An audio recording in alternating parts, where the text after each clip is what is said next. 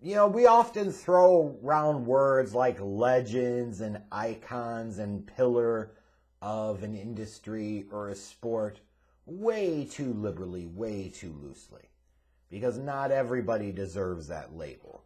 But when you think about Kanji Inoki, or later on Muhammad Hussein Inoki, or as we all came to know him as over the decades by his ring name, Antonio Inoki, it's not an overreaction, it's not hyperbole to refer to this man as a legend of the professional wrestling industry, a legend of the professional wrestling game, because he was absolutely all of that and more. Absolutely. He is one of the biggest names in the history of professional wrestling. And I know that could be a pretty wide swath and a pretty large bucket that could have a lot of names in there. Uh, but Antonio Inoki certainly falls into that category. So with the news coming out uh, here in the States at least, uh, late on September 30th of his passing at the age of 79, like, it's a, it's a, it's a, it's a big deal. Like, even for a man that was 79 years of age and, you know, had stepped back from the New Japan scene for years and, you know, it still feels like a big deal. It still feels like a big loss because so many of us uh, know Inoki, his face, his name for one reason or another, you know. Uh, and when you look back at the Antonio Inoki story, it is an interesting one. Here's a man that uh, was born during, like if you think about this, he was born during the height of World War II in Japan, and as a result, grew up in post World War II Japan. So even though his father was like a businessman and a politician, uh, they certainly experienced some struggles. And in fact, I believe at one point when he was a teenager, they ended up moving to Brazil. He lost his dad when he was only a few years old and lost one of his grandparents, you know, on the trip to actually go to Brazil. So this is a man that had to deal with a lot early on in his life and, you know, eventually got to a spot where he was fortunate enough to be able to beat uh, wrestling icon Rikidozan at the age of 17. And when you think about Rikidozan, you know, this is a guy that a lot of people hear the name and know the name, but they don't quite appreciate like just how massive of a deal he is. This was a guy that was at the peak of his powers in the 50s and the early 60s in the wrestling scene, and he was absolutely a gigantic monster star. And Antonio Inoki was one of the prize pupils, if you will, under Rikidozan. He ended up going uh, with Rikidozan and to Japan, going back home, if you will, to wrestle under the Japan Pro Wrestling Alliance. And that's where he first met another icon of Japanese and, frankly, just the world's professional wrestling scene, the man we would know as Giant Baba. And when you think about how important professional wrestling is to the Japanese culture, they did some poll, I think it was back in like 2005, 2006. Somebody could fact check me on this. And while this is not a statement about Inoki, it's more about Giant Baba. But they asked Japanese, the Japanese people, your 100 favorite historical figures of all time. So, of course, there are all types of, you know, samurais and shogun leaders and so forth throughout the history, and it encapsulated the world. So, Princess Diana was pretty high on the list. But at 91, one slot above Abraham Lincoln was Giant Baba. That's how much professional wrestling meant, means, meant, still means to the people of Japan. It is a big part of their entertainment and sporting culture.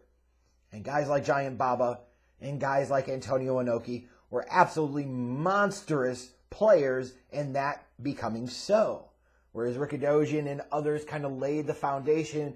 It was these guys that first, as a tag team in the 60s and the early 70s, you know, made Japanese wrestling a big deal, continued to build it to be a big thing. And then they, when they kind of split off and did their own thing as the Japan Pro Wrestling Alliance kind of went away and folded, you know, it was Antonio Inoki who started New Japan and it was Giant Baba that started All Japan. And you think about Antonio Inoki, you know, he was, I guess you'd say, discovered or learned under Rikidozan, trained by Karl Gotch. So that's how far back we go. The legendary names that were involved here. And all Antonio Inoki did was become a big, massive star. And we talk about New Japan Pro Wrestling. There are a lot of you watching this video, a lot of you that watch professional wrestling today that love New Japan Pro Wrestling. It's been around for 50 years now. And it probably wouldn't be there without Antonio Inoki. Like, so when you want to talk about major impacts, it's a pretty big damn deal. And when you look at some of the career highlights, and I could go on and on and on, you know, and you talk about individual matches, individual moments with Antonio Inoki. You want to talk about some matches going wrong in terms of turning into shoots. Like, you look at Antonio Inoki, here's a guy that he would do the gimmicks and stuff. Like he, he understood what wrestling was and what was supposed to be. But that was a guy you could look at and you 100% took seriously. Like you knew Antonio Inoki was legit. You know what I mean? He was a legit shooter. You cross him, he could mess you the hell up. And there's something you really got to respect about wrestlers like that. They could do the performance dance, and they could do the entertainment, but don't get it twisted. If you cross them, they will mess you up. That was something I always looked at it with Antonio Inoki, going back and watching his old matches and just the way the man's presence, his charisma. Like you could just tell this was a guy that could be very congenial, very nice, but don't cross the boss kind of deal. Uh, but a lot of people really became familiar with him when he had the uh, exhibition bout with Muhammad Ali in June of 1976. While it certainly wasn't the greatest of successes in terms of an entertaining show, when it was kind of an early um, failure and kind of like the closed circuit pay per view kind of business model, it was a really big deal. And there's a reason that uh, Muhammad Ali was willing to do this with somebody like Antonio Inoki in Japan because Antonio Inoki was that big of a deal. Even when you look at late 1979, even though this title reign has never been announced, or excuse me, have been recognized by the WWF, WWE now. He did beat Bob Backlund for the WWF Championship in 1979. Like that speaks to the working relationship that Antonio Inoki um, had with Vince McMahon Sr. and then later on Jr. for years. It speaks to the respect that this man had, that if they would even allow him to do that, they would entertain that. I mean, that's that's not a small deal. Like Backlund carried that strap for a number of years in a row. And at one point in time, even though it's never officially been recognized, Antonio Inoki was the guy to end that. And then you think about uh, that two-night collision in Korea, North Korea event, where Antonio Inoki helped headline it and helped promote it, and you know they put 150,000 people in that North Korean stadium in night one, and then in night two it was 190,000 people, and Antonio Inoki faced Ric Flair for the only time in his career. You know, you could say whatever you want about the event being in North Korea and how they got the people to get there, but just think about the sheer optics of Antonio Inoki is the featured act in a show that draws almost 200,000 people to watch wrestling. That's insane he made Japan, it helped make it Japan, eh, because it certainly wasn't just him, obviously. But he was one of those guys that helped make Japan a must, must go to destination for professional wrestlers all around the world. Like, think about how many wrestlers over the decades have went to Japan, and even in some cases, they achieved a certain level of success here in the States, but they go to Japan and experience the height of their popularity and their drawing power and their star power. It comes in Japan. And Antonio Inoki was a big part of that. Then you even think about his impact outside of the wrestling ring and get into his two stints in the House of Councillors, which is basically, um, you think about Congress in the States, that's what it's patterned off of in Japan. He even had his own, what was it, Sports and Peace Party when he ran the first time in 1989. He got elected, served six years then, then came back later and ran a second, second stint like that speaks to the presence that a man like Antonio Inoki had. And then when you also think about the impact that he had on the business, look at some of the guys that he trained. It's not just what you can do, it's what, what you contribute to the business.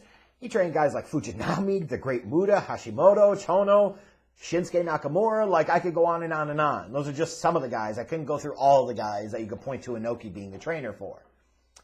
And you say, okay, it's one thing that you're great yourself and a massive star in drawing power, and he absolutely was. That's what Antonio Inoki was. He was a massive star. Not just in Japan, but around the world. But the fact that he helped develop those next generations of guys that could go on themselves to be big stars, like speaks to the man's greatness and his impact and his legacy on the business. And I saw somebody post on Twitter earlier today, and I thought it was outstanding. And I'm like, this to be, just for a lot of reasons, just represents Antonio Inoki. They're talking about an event, what was it, like 20 years ago. Uh, personally, I'm not a huge fan of the style of New Japan Pro Wrestling, the strong style. Like, it's not really my bag, and that's cool. It doesn't have to be. It's not for everybody. Um, but it was some event, like back in 2000, 2001, something like that. And Antonio Inoki's just sitting there, standing in the middle of the ring, and you got a bunch of young men that are lined up on the ramp and all they're doing is they're waiting to get the shit smacked out of them by Antonio Inoki. Like they're literally coming in the ring and he's just slapping the hell out of them. One by one by one by one. And I say, you know what? That represents how much of a badass he was. Because people would take that kind of slap line and think that this is legit and feel this is legit because they know Antonio Inoki was legit.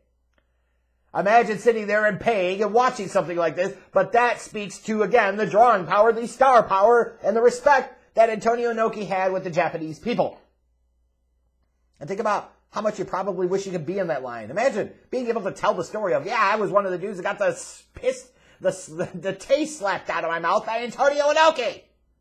I get just so many ways. That was just so cool and so awesome. And to me, just represents Antonio Inoki and his career and his legacy. But yeah, Certainly sad news to hear about the passing of not just a Japanese wrestling icon or an Asian wrestling icon, but really an international wrestling icon. Like, as a performer in the ring, as a promoter, like, there is no question the professional wrestling business is infinitely better off for Antonio Inoki having been in it. There is no question that he is one of the biggest names in terms of overall career, overall impact, overall legacy, Antonio Inoki is beyond question one of the biggest names in the history of professional wrestling. And he will be remembered as such.